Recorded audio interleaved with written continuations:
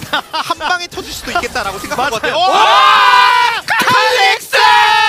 칼릭스! 자 아칼리로 이런 느낌 있는 모습 투백 사이드에서 아칼리가 그랜 상대로 주...